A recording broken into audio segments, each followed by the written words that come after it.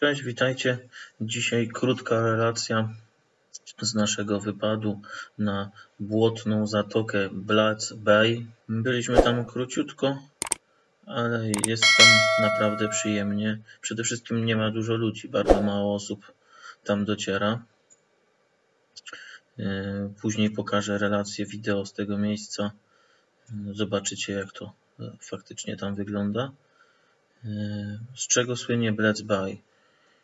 Jest to zatoka bogata w lecznicze błoto przede wszystkim. Ludzie, którzy tam się udają, smarują się błotem. Błoto ma właściwości lecznicze, nie tylko chemiczne, ale też mechaniczne.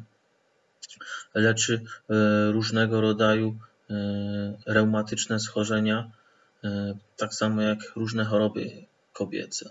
Z tego co wyczytałem, to tego błota znajduje się tam ponad 22 tysiące ton czyli dość, dość sporo. Błoto było poddane badaniom i e, udowodniono jego lecznicze właściwości. Zatoczka znajduje się w bardzo niedużej odległości od e, miejscowości Trpań. To nie muszę tłumaczyć, chyba każdy wie, stamtąd odpływa prom. Od tego roku pewnie już będzie mniej chętnych. W czerwcu mają otworzyć most. Jest to zaraz przed samą miejscowością Trpań, skręcamy w prawo. E, ja nie nagrywałem całej trasy, ale tutaj link do wrzucę w opisie filmu. Bardzo łatwo jest trafić. E, z miejscowości Orebić e, mamy to 18 km, no prawie 19 km, 24 minuty drogi, jak tu widzicie. Przy czym warto zwrócić uwagę na jedną rzecz. Już przy samym dojeździe tutaj widzimy kończy się droga. Gdy kończy się droga, E, asfaltowa, odbijamy w lewo. To będzie taka gruntowa droga. Tą drogą dojedziemy do tego kościółka. To jest kościółek i cmentarz. Obok tego kościółka i cmentarza jest parking. Kilka samochodów, kilkanaście się tam zmieści.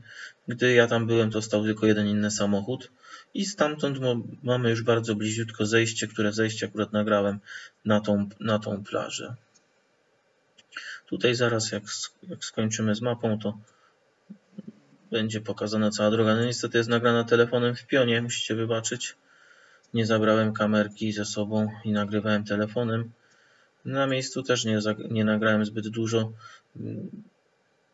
Spieszyliśmy się dalej w inne miejsce, dlatego taka króciutka tylko relacja. Ale jeśli ktoś będzie chciał tamto miejsce odwiedzić, to przynajmniej będzie wiedział, gdzie zaparkować i jak to tam wygląda, jak się przygotować. E, dodatkowo tutaj nie ma żadnych oznaczeń, gdy kończy się ta droga, że, że coś tam dalej jest, więc mm, jest problem ogólnie wcześniej gdzieś zostawić samochód, ale mówię, nie ma obaw, tutaj tą drogą do końca skręcamy w lewo sobie tutaj później na, tą, na ten kościółek i tam bez problemu zostawimy samochód.